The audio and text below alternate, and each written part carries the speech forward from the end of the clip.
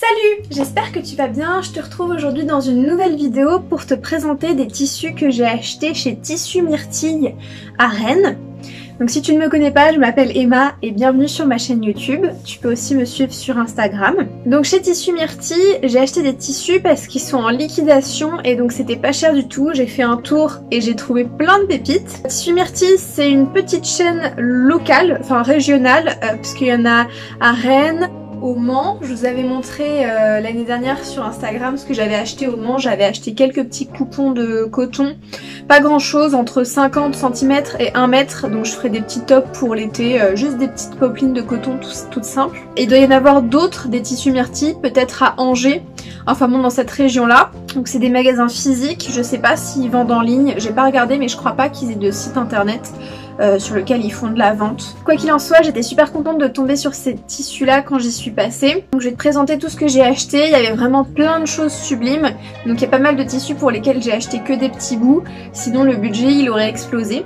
La première chose que j'ai acheté, c'est des petits cotons qui, je trouve, ont un motif assez rétro dans ces tons jaunes et euh, un peu kaki marron avec des petites fleurs euh, aussi dans les tons bleus et je trouve qu'ils allaient très bien ensemble, c'est pour ça que j'ai acheté les deux.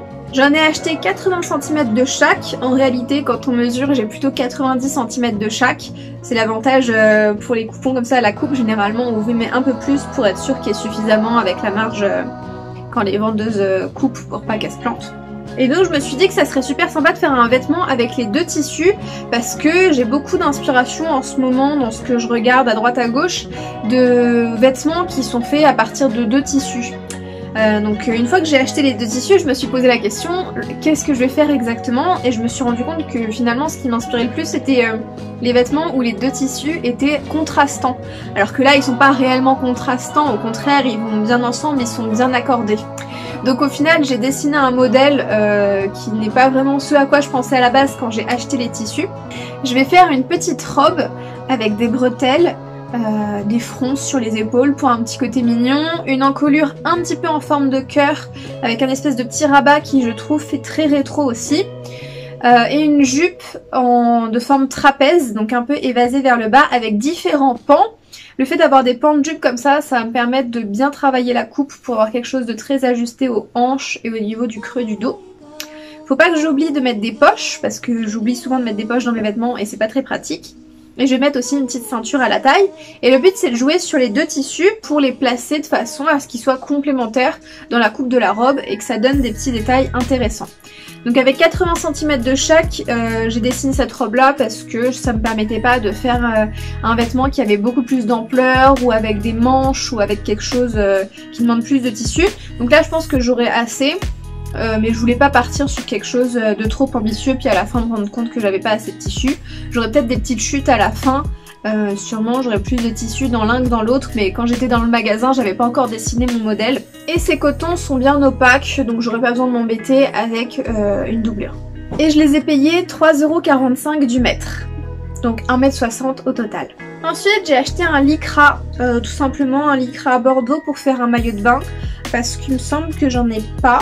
Peut-être que j'ai juste la mémoire courte et que j'en ai déjà. Euh, je sais que j'en ai en rouge parce que bientôt je vous fais une vidéo sur euh, un maillot de bain rouge que je vais coudre. Voilà, ça va sortir, il n'y a pas de souci. Euh, là, j'ai pas encore dessiné le modèle de maillot de bain que je voulais faire, mais c'est sûr ce sera un maillot de bain. J'ai décidé de ne plus acheter de maillot de bain, donc je vais essayer de m'amuser et d'en faire plusieurs avec différentes coupes, et puis je vous tiendrai au courant de ce que ça donne. J'en ai acheté 50 cm, c'est la plus petite coupe que vous pouvez prendre parce que forcément pour un maillot de bain il n'y a pas besoin de beaucoup de tissu. Et c'était à 4,45€ le mètre. Donc faut savoir que tout le magasin était à moins 50%. Donc les prix de base, bah c'était euh, deux fois les prix que je vous annonce. Ensuite j'ai ce tissu là, rose à pois rouge, que je trouvais absolument sublime. Le motif est très simple évidemment, mais euh, ça correspond euh, tout à fait à ce que j'avais envie de coudre. Je pense que je vais essayer de partir d'un patron vintage. Je vous mets une image du patron euh, qui m'a inspiré. Donc c'est une image trouvée sur Pinterest. Je n'ai pas réellement le patron, mais je vais essayer de le reproduire. Et je pense qu'il pourrait donner bien dans ce tissu en utilisant par exemple des biais ou des passepoils de couleur rouge comme les pour venir renforcer cette couleur là. Par contre si je trouve pas exactement la même couleur ça va être moche. Donc faut que je vois euh, comment je m'en sors. Je veux une jupe avec beaucoup d'ampleur et des fronces à la taille et un haut près du corps. Donc dans le modèle que je vous montre, euh, le haut est à bretelles, donc il n'y a pas de manche, il n'y a pas de col. Euh, parce qu'en fait je me suis dit que vu que j'ai pris 1m70 de tissu, déjà avec la jupe qui a beaucoup d'ampleur, je sais pas si j'aurai assez de tissu pour faire un haut qui demande beaucoup de tissu. Donc comme je vous ai dit, euh, j'ai essayé de prendre des, des, morceaux de tissu pas trop grands parce que j'avais pas un budget extensible. Celui-là il était à 3,45€ du mètre, donc c'est vraiment pas cher. Généralement ce genre de tissu c'est euh, entre 7 et 10 euros du mètre, mais il y en avait trop qui, me plaisaient. Petit bémol, il n'est pas opaque, donc il va falloir que je double la jupe. Ça va être relativement facile de doubler la jupe euh, au niveau des raccords, simplement une jupe doublée, pas forcément le haut, ça m'en fiche. Ensuite, j'ai un petit coton Vichy comme ceci. C'était la fin du rouleau, je voulais en prendre plus, mais j'ai pris que ce qui restait sur le rouleau. J'en ai pris un mètre et il était à 2,95€ du mètre, donc vraiment une bonne affaire, sachant que ça, on peut l'utiliser pour faire un nombre de vêtements incroyable parce que c'est quand même un, basique, surtout dans ces tons-là, c'est vraiment euh, très très facile à porter avec tout type euh, de vêtements, euh, ça s'accorde facilement avec du marron, du beige, du blanc, tout ce qu'on veut. Et donc j'avais beaucoup d'inspiration pour ce tissu-là, je vous mets quelques photos, mais il va falloir que je fasse un choix, surtout qu'avec un seul mètre, je vais pas pouvoir faire des vêtements avec trop de fronce ou d'ampleur. Je vais pas pouvoir faire des vêtements qui voilà qui demandent d'avoir par exemple une jupe à plusieurs étages ou alors d'avoir des manches. Donc je suis un peu déçue. Je pense qu'à la fin, je vais quand même partir simplement sur un chemisier, parce qu'avec un mètre, je vais pas pouvoir faire beaucoup plus. Donc quelque chose d'assez sage, peut-être un chemisier simplement pour aller au travail et dans un style un peu euh, première de la classe. Mais voilà, ça fera un très bon basique. De temps en temps, c'est sympa à coudre aussi. Ensuite, j'ai acheté ce petit voile de polyester. Donc il est tout en transparence, bleu et noir. Euh, beaucoup de gens disent que le bleu et le noir ne vont pas bien ensemble, mais quand c'est un bleu bien franc comme ça, moi je trouve que ça va très bien avec le noir, je trouve ça joli. Ça me faisait penser à un chemisier que j'avais déjà acheté en friperie cet été. Donc ça m'a inspiré pour faire quelque chose dans un style un peu euh, rétro. Donc j'ai cherché un peu sur Pinterest des idées et je me suis dit que j'allais faire un petit chemisier avec des manches ballons, relativement simple au final, mais avec des petits détails de plis sur le devant puisque vu qu'il est en transparence, dès qu'on va faire un pli, ça va rendre le tissu plus opaque et casser le motif de fleurs et ça va faire un détail euh, très visible. Donc il faudrait que je m'applique sur les plis pour qu'ils soient vraiment soignés. Mais je sais pas, j'avais l'impression que c'était le genre de tissu que j'allais porter facilement. Donc je vais faire un chemisier relativement simple. Il va se fermer avec une petite fente goutte sur le devant qui sera euh, recouverte d'un biais noir ou bleu, je ne sais pas encore, une des deux couleurs pour trancher. Euh, ce biais recouvrira aussi euh, le bord de l'encolure parce que je peux pas faire de parmenture comme j'ai l'habitude de faire vu que c'est transparent, la parmenture se verrait derrière. Sur les manches, comme j'ai dit, elles seront ballons et avec des plis en bas pour resserrer le ballon et faire quelque chose d'ajusté au niveau du bras. Donc il était à 3,45€ du mètre. J'ai aussi acheté ce deuxième voile, pareil, bleu. J'ai pas réussi à choisir entre les deux, il aurait fallu, parce qu'au final ils se ressemblent un peu. Mais pareil, j'ai pris un mètre à 3,45€ de ce tissu-là, qui euh, je trouve n'est pas dans le même style, il fait beaucoup plus moderne, et il a des fils lurex bleu argenté je vous montrerai des, close-up. Je l'ai pas du tout... Euh, celui-là, pour le coup, j'ai pas d'idée de ce que je vais faire avec. J'ai un mètre, donc je pense que ça finira aussi en chemisier. Je pourrais faire une petite robe courte à bretelles avec un mètre, mais je sais pas trop l'esprit, je trouve. En plus, faudrait tout doubler, ce serait un peu chiant. Donc faut que j'arrive à trouver un modèle de chemisier relativement simple à faire. Ensuite, j'ai acheté cette euh, viscose rayée, légèrement satinée dans l'aspect voit que ça brille un petit peu. Et je me suis dit qu'il fallait que j'en fasse quelque chose qui ait l'air un peu chic, un peu haut de gamme. Parce que si je fais quelque chose de simple, ça va, je trouve, avoir l'air de ce qu'on voit partout chez Zara ou des choses comme ça. Et c'est pas du tout l'idée. Donc il faut que j'essaie de jouer avec des drapés. Euh, pourquoi pas des bouts de tissu qui s'entremêlent sur le ventre. On peut voir parfois des nœuds comme ça ou qui s'entremêlent sur les épaules. Je vous montrerai des photos d'inspiration. Et il faut que je joue avec le sens des rayures pour renforcer cet aspect drapé et que ça donne quelque chose d'assez visuel. Pour le coup, celui-là, j'en ai pris beaucoup. C'est pas du tout mon tissu préféré parmi tout ce que je vous montre parce qu'il est très simple. Mais je me suis dit que pour faire quelque chose d'un peu chic comme ça, il fallait beaucoup de métrage. Donc j'en ai pris 1m70 et vu que j'aurais pas une jupe avec beaucoup d'ampleur à la robe, ça me permettra de travailler plus le haut et j'espère pouvoir faire une jupe longue aussi pour renforcer cet aspect chic. Donc voilà, je vais voir si j'aurai le temps de le coudre avant cet été, ce serait sympa. Et celui-là, il était à 3,45€ du mètre. Dans le même esprit, j'ai acheté deux tissus qui vont bien ensemble. Euh, ils étaient même pas sur la même table, mais mes yeux ont réussi à faire le lien entre euh, ces deux tissus-là, puisque je trouve qu'ils sont dans, les mêmes tons, avec du marron et du vieux rose comme ceci, avec celui-ci à rayures qui, selon moi, est un peu plus moderne, et celui-ci avec des motifs de, fleurs qui me rappellent une ambiance un peu plus ancienne. Et le but c'est de les associer parce que comme je vous ai dit tout à l'heure avec les cotons, j'ai beaucoup d'inspiration pour faire des vêtements euh, avec plusieurs tissus parce que jusqu'ici généralement quand je faisais un, un vêtement c'était euh, pour faire toutes les pièces du vêtement avec le même tissu. Et là je me suis dit que j'allais m'amuser. Vu que pareil ce sont des tissus pas trop trop contrastants et qui sont très mous et très légers, j'allais faire une coupe un peu drapée aussi, comme ce que je vous ai dit juste avant. Donc il faut que j'arrive à draper tout ça, jouer avec le volume et faire quelque chose de très léger. C'est l'esprit que je veux donner pour qu'en fait on ait l'impression que les, les tissus se mélangent un petit peu et non pas jouer avec un contraste et beaucoup de structure en faisant une différence de tissu marquée sur une ligne droite. Donc la photo que je vous montre c'est une robe courte mais peut-être que j'aurai la place de faire une robe un peu plus longue, cela dit elle a des manches donc je verrai la place de tissu qui me reste parce que j'en ai pris un mètre de chaque donc au total ça me fait 2 mètres, sachant qu'il y a les marges à chaque fois en plus euh, prises par la vendeuse quand elle a coupé le tissu. Donc en réalité j'ai 1m10 de chaque et je les ai payés 3,45€ du mètre. Donc la photo que je vous ai montrée c'est une inspiration, je peut-être pas exactement ça, mais je trouve quand même que c'est un beau projet, c'est euh, une image que j'avais mis de côté depuis longtemps et qui me donne très envie. Ensuite on a un tout petit bout de voile comme ceci qui fait 50 cm parce que c'était la fin de ma session shopping et je commençais à avoir beaucoup de tissu sur les bras donc je me suis dit qu'il fallait que je me calme un petit peu. Mais je le trouvais super joli avec ces petites fleurs, c'est pas du tout original, j'ai l'impression qu'on voit ce motif relativement souvent dans les magasins de tissu.